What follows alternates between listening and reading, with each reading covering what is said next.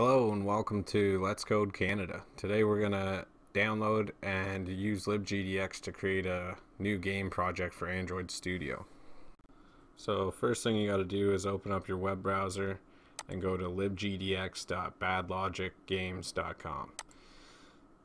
Then it's super simple, you just hit download setup app, download it somewhere you want it to be. I put it right on the desktop so it's easy to find.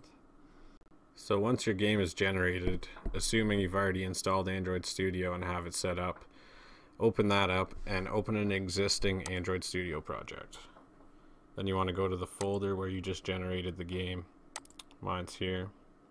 You click on the project folder, click OK. Once that finishes, Android Studio should look like this, or maybe it looked like this the first time you opened it because you already had a project on the go. If you did, then all you have to do is just hit File, Open, find your project, and hit OK. Next thing you want to do is either plug in a real device or start a virtual device. I'm going to use a Nexus 6 virtual device for this. If you don't have a virtual device made yet, you can go ahead and make one right there. And then you just hit this to run it. Once that's running, you can just hit the run button and your game should start. Choose the virtual device you want. Okay. Wants me to do an update that I'm not going to do right now. And then you should get this.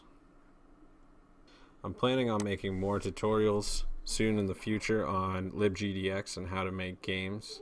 If there's other tutorials you guys want to see, let me know in the comments below. Otherwise, thanks for watching and hope to see you soon.